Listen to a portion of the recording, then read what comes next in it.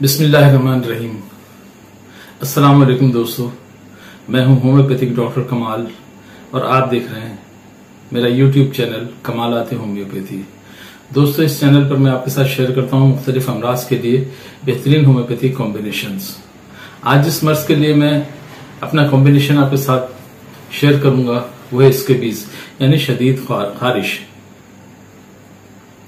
ये एक मुतादी मर्ज है, जल्दी मर्ज है एक से दूसरे को लग जाता है, एक के कपड़े दूसरे को शेयर करें तो लिया शेयर करें, इस इस वजह से ये एक एक से दूसरे को लग जाता है। जिस्मानी कांटेक्ट में अगर आए, हाथ मिलाएँ तो ये जिसम में एक से दूसरे को लग जाता है। ज़्यादातर ये स्कूलों में बच्चों को एक से दूसरे को लगता है, या हॉस्टल्स में जो रहते हैं, मदरसे के जो बच्चे हैं, उनमें ये बहुत ज़्यादा होता है, और जेलों में भी ये बहुत ज़्यादा मर्ज पाया जाता है। इस मर्स की वजह एक बहुत बारीक कीड़ा होता है, जिसको सार्कोट्स इसको भी कहते हैं।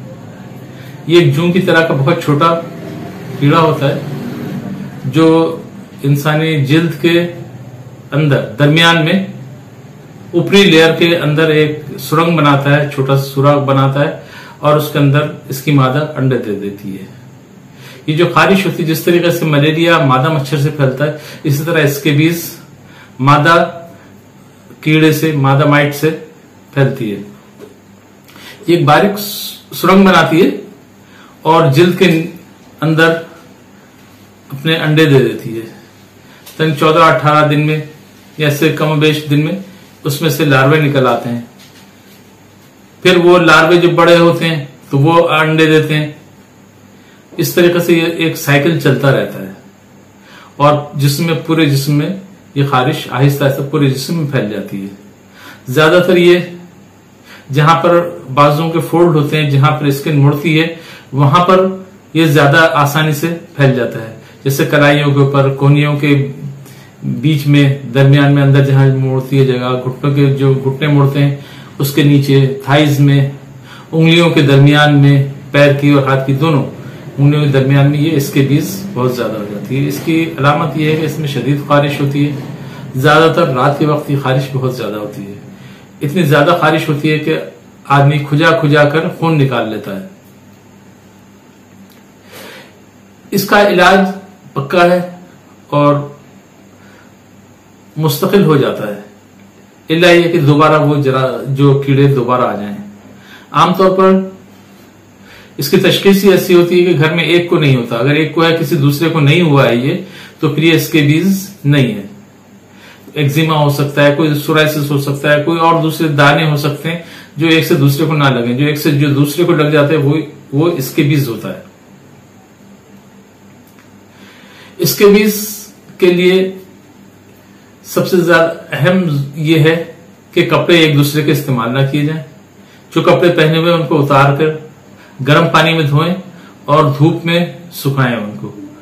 इसके जो, ये जो माइट है, ये दो तीन दिन के से ज़्यादा इंसानी जिस्म के बाहर ज़िंदा नहीं रह सकती।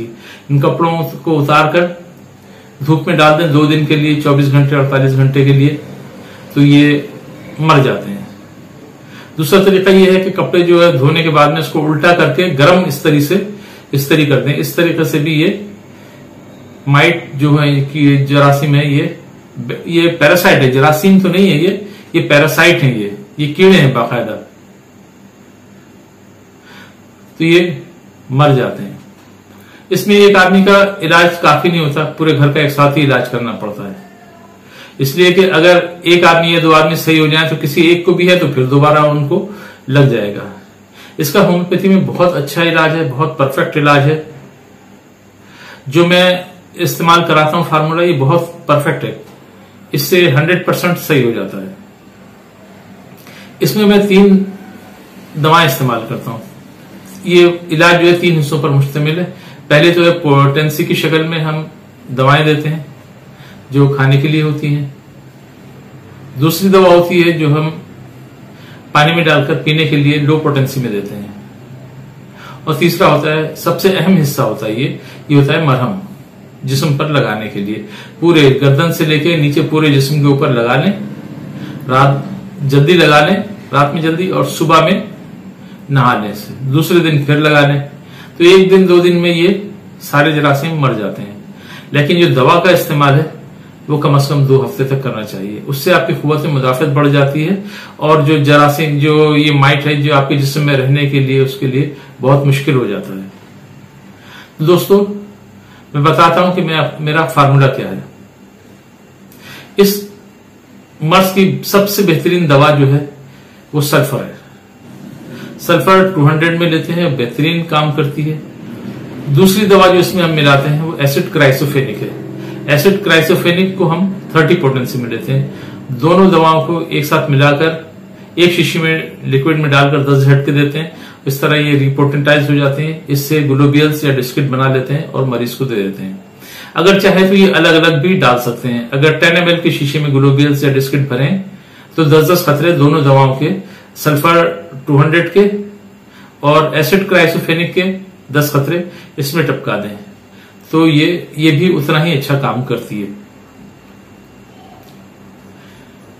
दूसरी दवा जो हम इसमें इस्तेमाल करते हैं, वो एक ब्रॉड रेंज फार्मूला है, जो पूरे जिल्द के ऊपर काम करता है। इसमें तीन दवाएँ हैं, इसको मैं स्किन केयर के नाम से बनाता हूँ। स्किन केयर में तीन दवाएँ शामिल होती हैं।